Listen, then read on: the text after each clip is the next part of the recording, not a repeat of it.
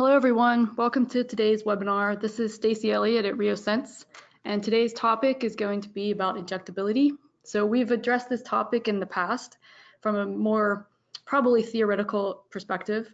Um, however, today we wanted to do it in a more um, practical way, so giving you more information to help you go through the process step by step. Um, I will warn you though, we will still have some equations to deal with, um, but we'll get through that. Um, so let's get started.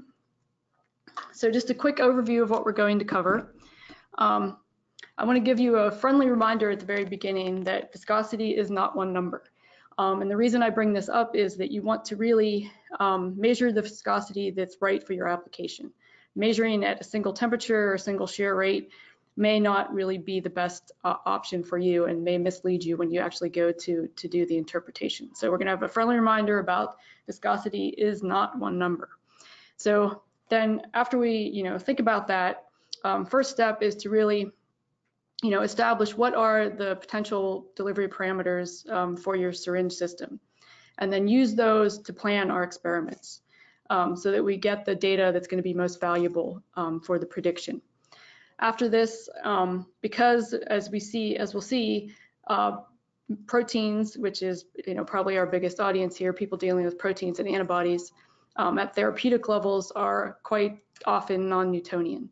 And so we want to handle uh, how to correct the non-Newtonian data and get the proper data to use in our analysis.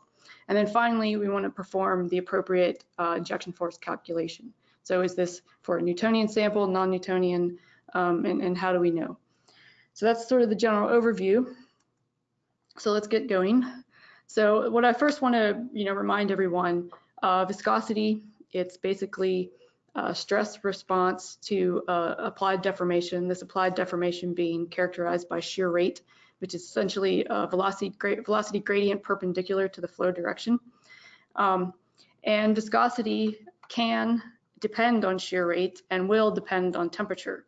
So I bring this up with some supporting data just to remind you that when you're prepping um, to collect data, you want to plan accordingly and try to measure at the appropriate shear rate for your application and the appropriate temperature for your application. So just as some examples here, um, and all of this data is on a model protein at uh, high concentrations or therapeutic levels. So on the left here we have viscosity as a function of shear rate for multiple samples. Um, some of these are same concentration, different buffers, some are diluted slightly. Uh, the point being though that as we vary the shear rate, we see for all of these that they have a low shear Newtonian plateau, but then at some point all of them begin to shear thin. Um, so if you're doing your experiments, um, you know, as a single point experiment where you're looking at one shear rate, say 1,000 inverse seconds, that's very common for some of our customers. Um, yet your application, you know, is telling you that you need to know what's going on at say in excess of 10,000 inverse seconds, um, where the material has clearly started to shear thin now your, your, your, data is not going to be informative for you. So bear in mind that when you're setting up experiments, you want to set them up properly. Another thing to think about is the temperature dependence. So viscosity will depend on temperature as well. Typically, at least over um, certain ranges of temperature, it will have an Arrhenius dependence or exponential with inverse in temperature. So the point here being if uh, what you really need to measure or what you really need to know in terms of your application is the behavior at 20C and you're measuring at 25C. Um, this is a nearly five centipoise difference or um, 25 to 30% difference in the viscosity. So this is going to be important to pick your temperature according to the application and also the shear rate according to the application. This will just give you the best prediction um, you know, when you go to use, utilize your data. So with that in mind, let's start thinking about uh, the injectability and how we can plan for our experiments eh, um, with respect to these parameters. So you want to look at, uh, you know, upfront, identify what are the possible syringe and delivery parameters that you can use. And this may be very fixed or it may be flexible, um, in which case you can calculate, uh, rather than a single shear rate, a range of shear rates that would work for you. So the things that we're going to need to consider, and these are going to pop up when we start doing the calculations, are the, um, the needle length. And just to point out sort of a tip, I've noticed that when we're working with some of our customers to help them uh, predict injectability, uh, it's important to look at the, the diagrams of your um, syringe system because oftentimes I think people will take the length of the needle to be the length of the needle that's exposed, but in many cases the needle does actually um, penetrate into this transition piece. Um, so you want that true uh, true length of the needle, even if it's not exposed, um, because that will change the, the prediction quite a bit. In addition to this, you want to know the needle gauge, which would then give you the inner radius of the needle, the uh, radius of the piston or the barrel, and then the, the volumetric flow rate. So how rapidly do you want to deliver a particular volume of your, your product? So using these, um, you know, to prep for your experiments, you'd want to estimate what would the shear rate in the needle be. Now, you know, going in without any knowledge of how the samples will behave, you, you basically have to do this using the Newtonian expression um, for flow in, in a cylinder or something with a circular cross section, which is fine. It's going to give you a good gauge to give you a, a measurement range.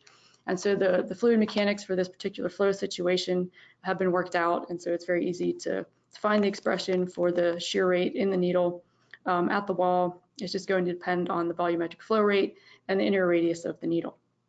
So knowing this, ideally, when you now go to plan your experiments, you would want to, if possible, measure viscosity as a function of shear rate up to and maybe even slightly beyond this predicted shear rate um, that we've just calculated from our, our syringe and delivery parameters. Now, I understand that that's not always possible. Um, in, in many cases, that's not possible for us either, but it is, um, as we'll see when we actually get to the end and are looking at some of our experimental data, you can cautiously uh, predict injectability by extrapolating the data a bit. Um, you wouldn't want to go too far, but um, you know, and there's always some risk with that, but you can you can certainly do that to get at least a better estimate than you would if you just assume fully Newtonian. Um, and then also, as we mentioned, you want to uh, try to pinpoint down what temperature is relevant for you too, because that can shift the viscosity quite a bit. So with that in mind, you'd want to go um, forward and, and do your measurements over the broadest range of shear rates possible, encompassing you know, what you're predicting and then the appropriate temperature. Um, so we're going to have a, a, intervening slide here before we get onto, you know, once we've collected the data and we've found that perhaps it's non-Newtonian, as it often is for high concentration um, therapeutic products, um, how are we going to handle that? So this correction is specific to our technology. So our technology is microfluidic visco base viscometer. So we're looking at flow through a rectangular flow channel. And, you know, we, we always emphasize that viscosity is always calculated. And, you know, when we're doing our calculation, when the software is doing the calculation, we don't know ahead of time whether it is or is not non-Newtonian and how to handle the correction ahead of time. So the initial data that comes out from our systems um, will actually be assuming the Newtonian behavior. So just to quickly review our system so that you can better understand um, the approximation uh, or the assumptions that we make and why the correction is required. So if we look at our, our microfluidic flow channel and we're pumping fluid through the channel, um, we're controlling the volumetric flow rate Q, so that is correctly controlled. And we're measuring using the four pressure sensors that um, are distributed along the length of the flow channel. We're measuring the pressure drop across the flow channel. So we get the pressure gradient as the fluid flows through. So because, as I stated, and ahead of time, we have no idea what the viscosity profile of the fluid would look like. So to initially get the viscosity data, we have to assume something, and we assume that it's Newtonian. So to initially calculate the shear rate, um, we use the Newtonian assumption. And in this case, W and H are just uh, respectively channel width and channel depth or height. Um, now we're measuring this pressure gradient and we too uh, have to measure the, or rather calculate the stress, again using channel dimensions. Um, but this is, uh, the, no assumptions are, are made here in terms of the nature of the fluid. So this particular calculation of the stress from the pressure gradient is fine. We, we have not, we don't have to do anything with that, but we do have to address this assumption with the, the Newtonian uh, fluid to calculate shear rate. So with that in mind, what you really get from the instrumentation when you're measuring a non-Newtonian fluid is what we refer to as the apparent dynamic viscosity, where, as I stated, we have used this assumption um, to calculate the shear, shear rate, which we then use to calculate this apparent viscosity. And so this is where the correction is, is going to be required. But there's a straightforward way to handle this. Um, so Step two in the process then is once you've collected your data, and if you're dealing, dealing with concentrated macromolecules, then quite likely um, you're going to have non-Newtonian behavior and you'll want to correct the data. So to reemphasize um, the stress that comes from, um, that's given from the, the software doesn't require uh, correction. We've made no assumptions about the nature of the fluid, just calculated from the pressure gradient along the flow channel. The shear rate, however, we did have the Newtonian assumption and we have to correct this. So how do we do this? Um, the, the correction has already been worked out. The Weissenberg, Rabinowitsch, Mooney, uh, let's just call it WRM expression, can be used to take uh, the experimental data and correct and determine what is the actual shear rate. So to do this, we will just, um, it looks like we're cut off here a little bit, I apologize. Um, so the top plot, as you can see, is viscosity versus shear rate, and we're looking at the uncorrected data is the blue data points, and what we need to do um, is correct the data in the shear thinning regime. We don't need to do anything with the data in the uh, Newtonian low shear plateau.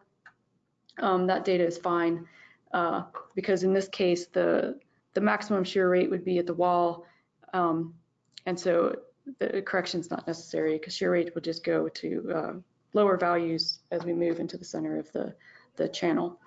Um, so to correct the data in the shear thinning regime, um, the lower plot, we basically replotted our data to be the log of this shear rate that we've calculated versus the log of the stress.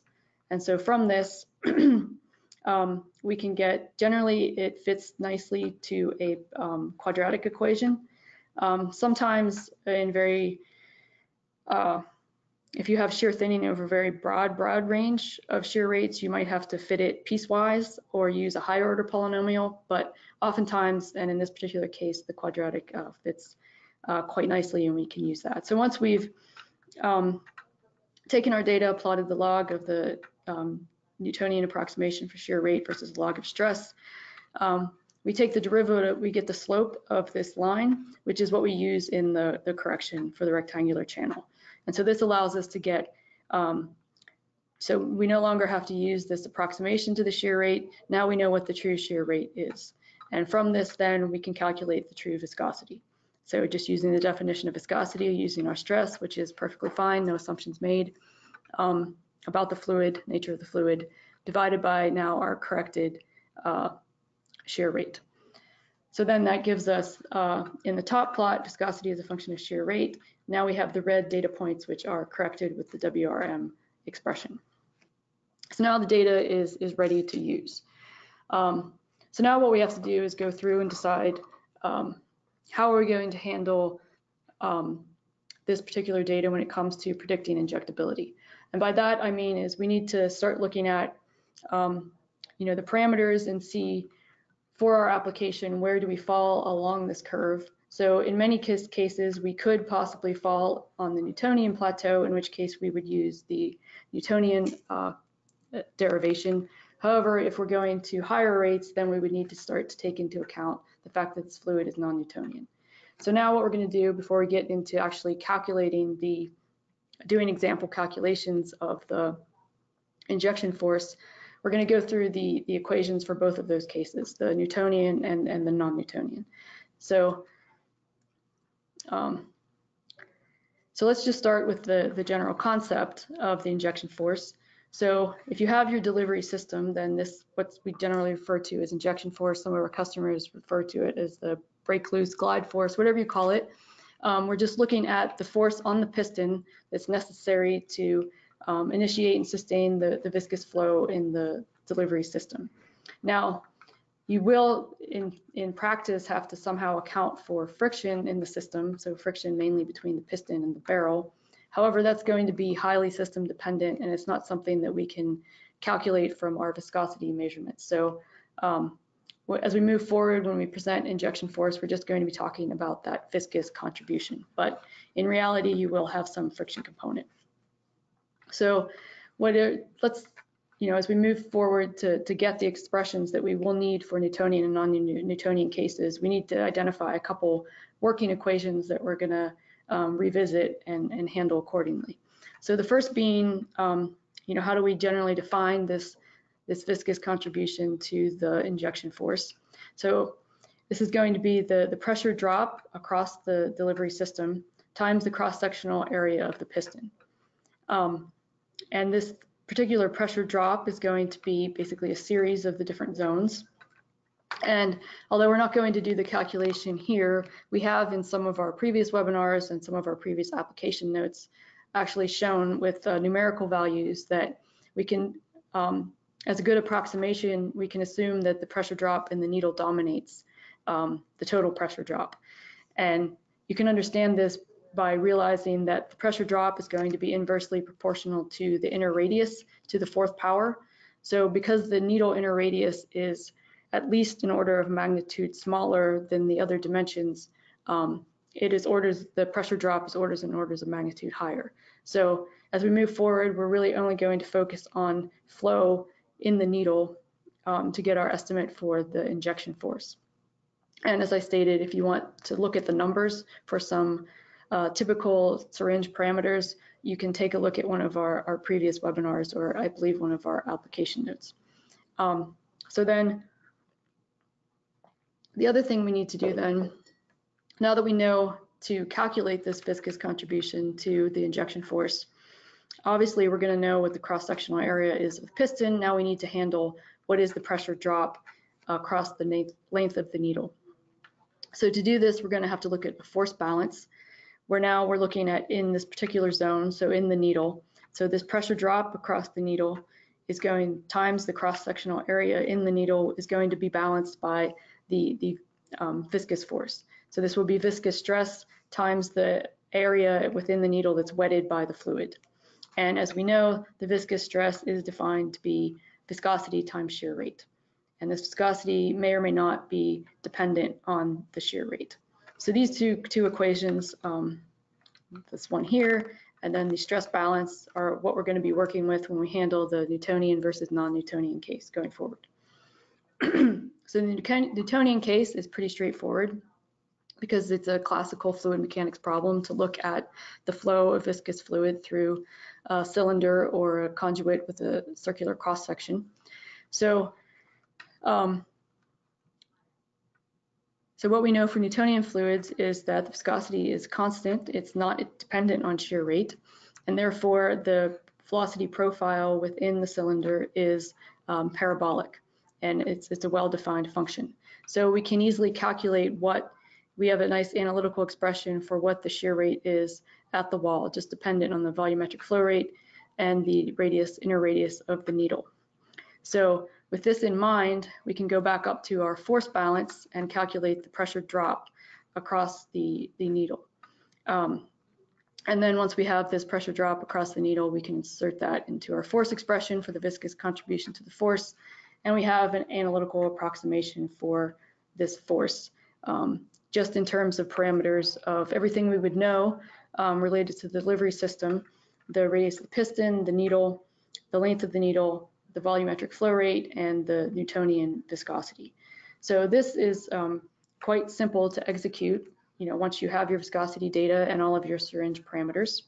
Um, and we will do some, we will show you some values for this towards the end, but um, so that this is something you would use if you have something that is fully Newtonian across all shear rates that you test, or if you know your application has a shear rate that falls on a Newtonian plateau. However, uh, that may not be the case because as we know, the needles have very small inner radii and can then this can then lead to very high shear rates. So how do we handle uh, non-Newtonian, the non-Newtonian case in the, the syringe? Okay, so we, we still have the same working equations, um, but what we realize here now is that um, for non-Newtonian fluids, as we know, viscosity will now depend on shear rate, so it's not a constant. And so that means since the shear rate varies across the cross section, so the shear rate is zero at the center point and then becomes a maximum near the wall, at the wall, um, this means the viscosity will vary across the cross section as well. And what this means is that instead of the um, well-defined parabolic velocity profile for a Newtonian fluid, now we have something that's that's distorted when we have a shear thinning fluid. And will often look something uh, like the red dashed line that we have here. So what happens then is the um, center point region gets flattened a bit and uh, what happens is that the shear rate at the wall then is higher than what we would predict from the Newtonian expressions. So if we, um, so we need to correct in some way for this change in shear rate at the wall. So the Newtonian expression is not going to work.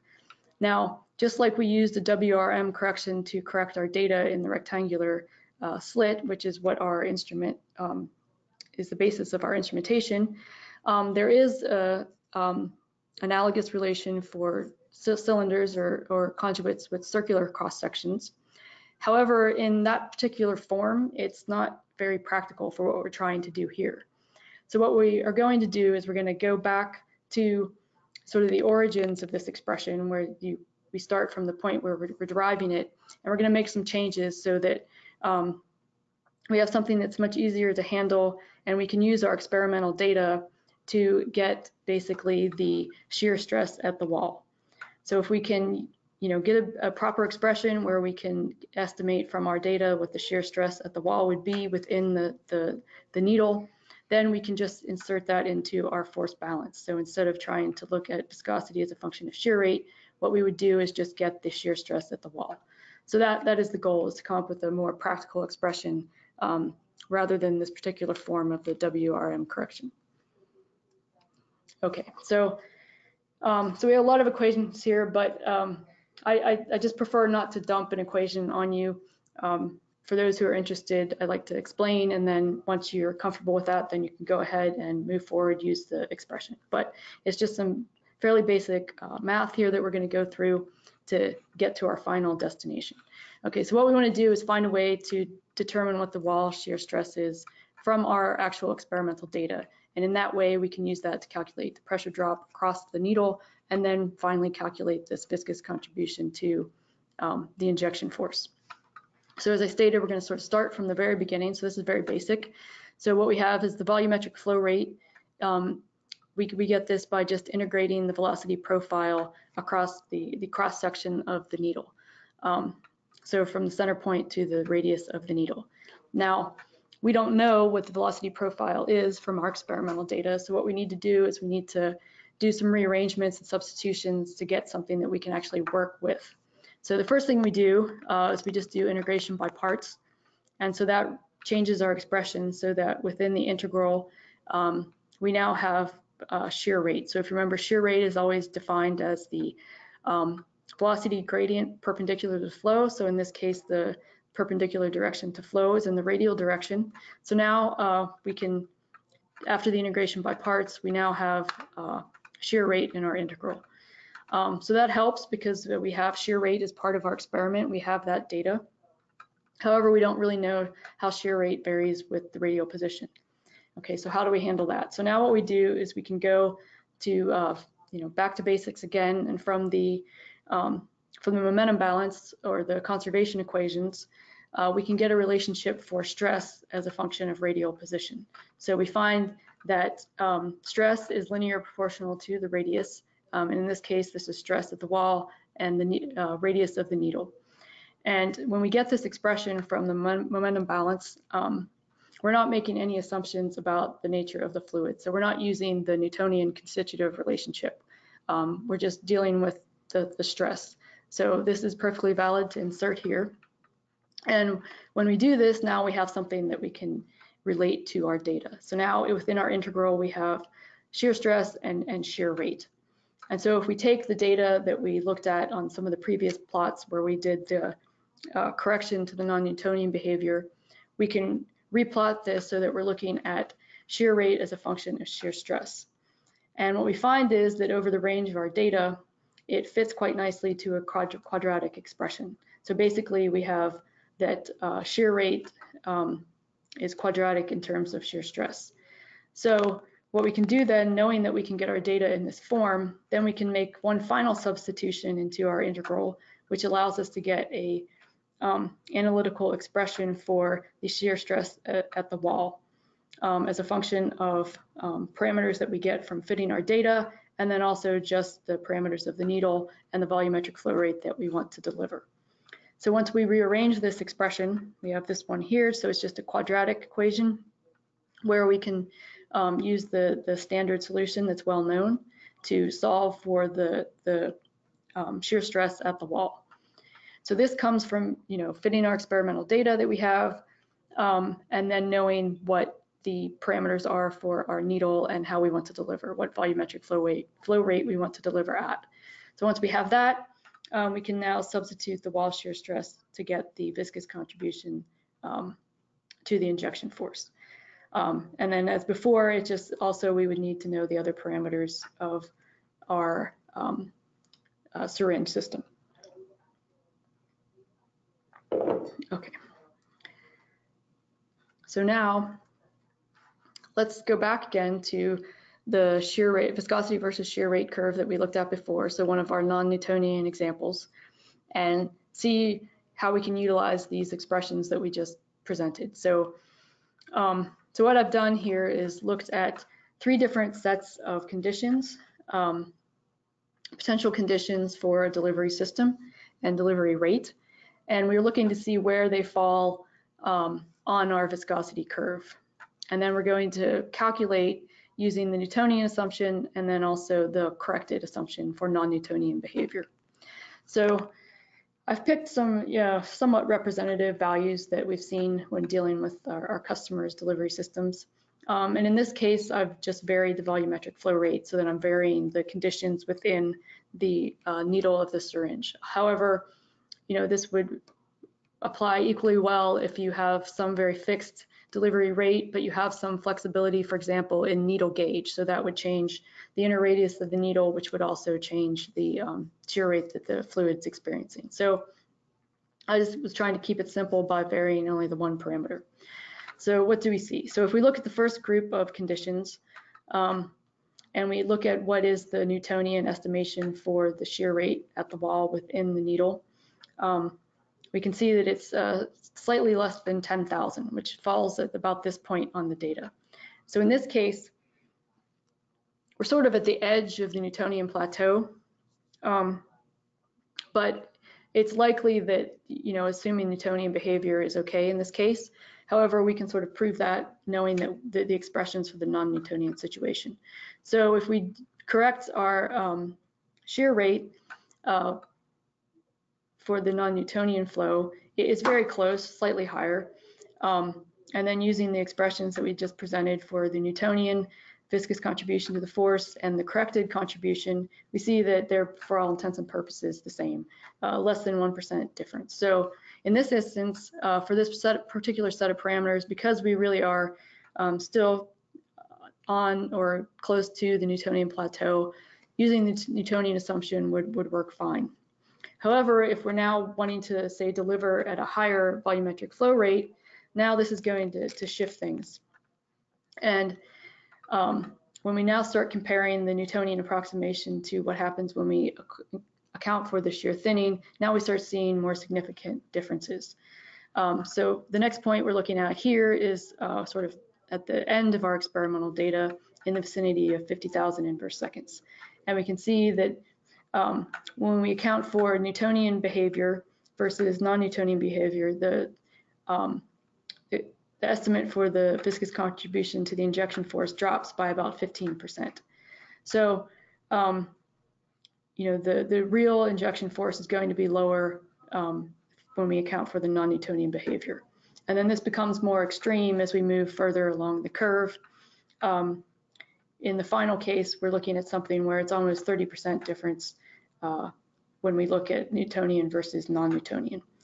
Um, so, you know, when, when, dealing with customers, when we talk about what is your threshold for, um, you know, a, an injection force, you know, if you have a particular threshold and, you know, if you miscalculate using the Newtonian assumption and you're 30% off in your, your prediction, then you could be rejecting, you know, a, a candidate that's, that's actually uh, usable and applicable for you.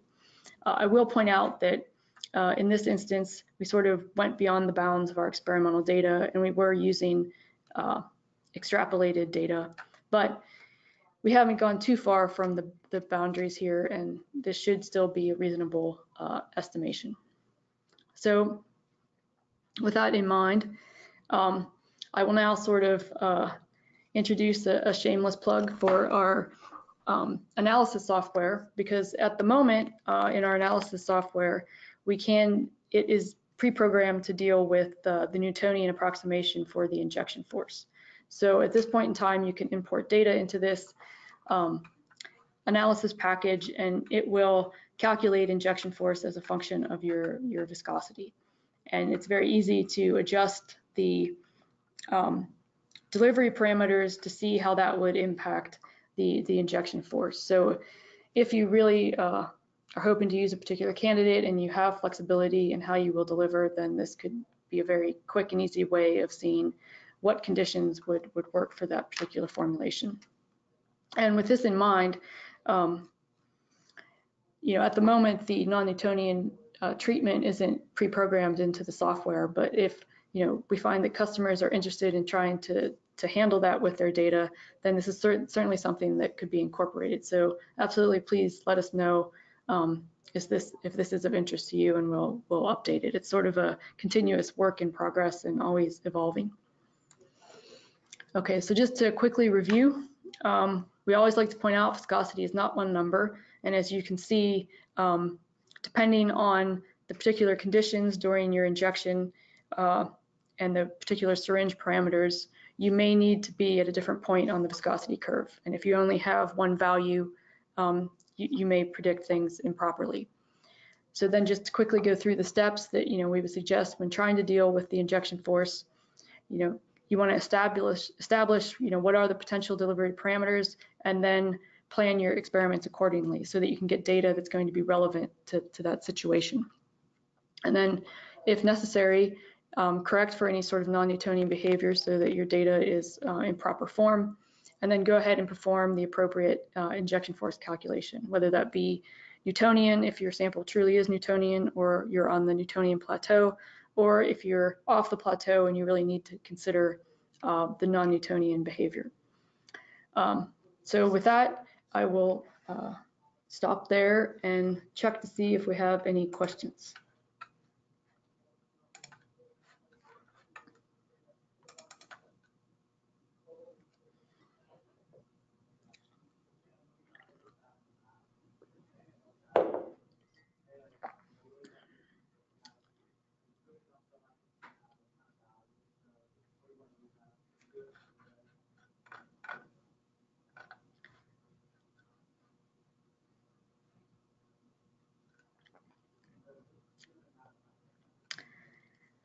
Okay, we have one question.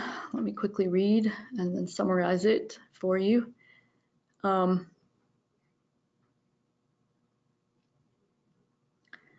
so we have a question, uh, if the sample is non-Newtonian, how many shear rates should we measure? Um,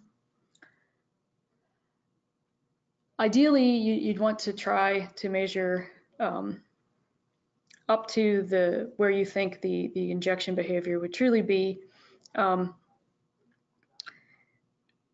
and then at lower rates to see you know where the the Newtonian plateau exists. Um, and you want to have enough points to capture that transition the the critical shear rate the onset of shear thinning. Uh, so it kind of depends on how uh, many decades in shear rate you're measuring. I would recommend maybe five per five points per decade uh, in shear rate would be adequate. Um, but the, it could vary. So uh, let's see. Um,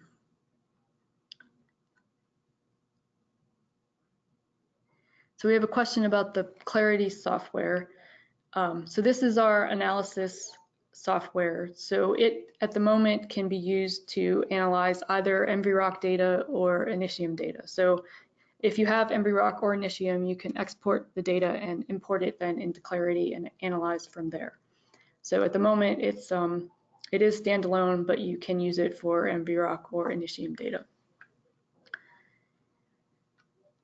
Okay, so then there's a question here about um,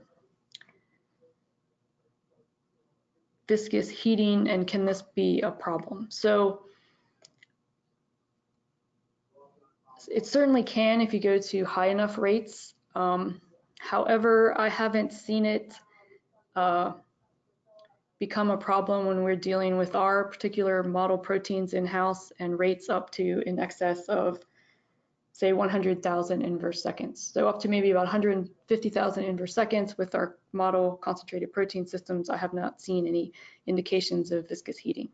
Um, if you need to go well beyond that particular um, shear rate, then you certainly want to look out for it and be cognizant of it, but it kind of depends on, uh, on how high in rate you're, you're going to be going. Um, let's see.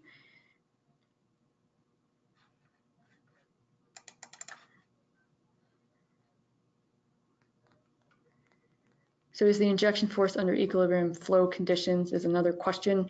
So when we do the calculation, we're assuming that it's it's steady state. So we're not taking into account startup flow or, or transient behavior. So yes, um, it would be a steady state uh, approximation. So we're not really, and then there's sort of a follow up here. What is the, the force at start? Um, so I think, you know, from what I've seen from experimental data from some of the customers, um, a big portion of that perhaps peak that might exist in the initial startup is related to static friction perhaps. So that's not the viscous portion. Um, although I'm, I'm, kind of speculating a bit. Uh, so I think the, the peak that might come at start is more from static friction and our uh, information that we present is a, a steady state um, calculation. Okay. Um, I did have a couple more here. Let me jump back.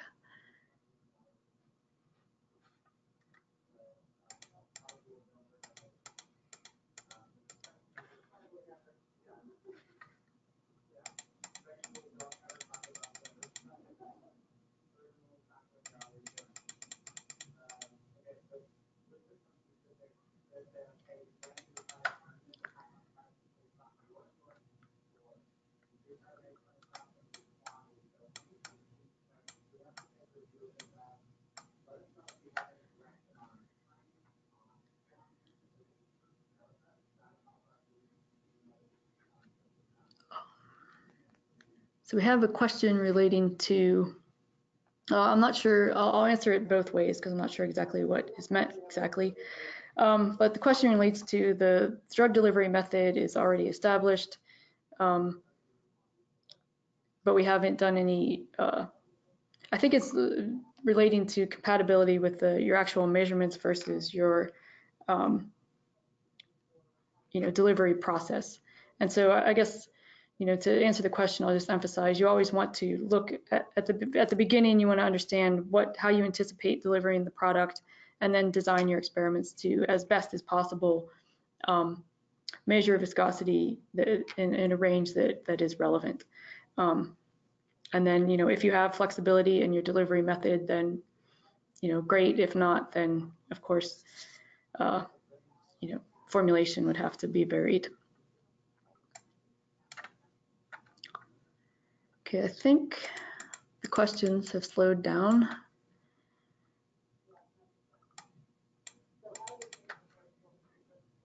There is one more question about Clarity and its compatibility with certain versions of Windows. Uh, I can't say for certain. We'd have to, you know, if if you're interested in Clarity and you're concerned whether it's compatible, definitely contact us and we'll check with the software group. I don't want to misspeak on that topic.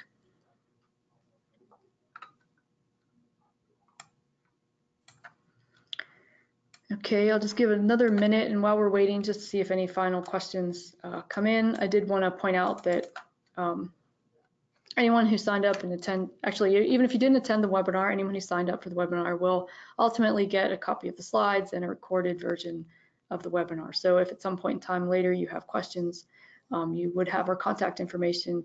Please feel free to get in touch with us um, so we can answer any questions you might have that come up later.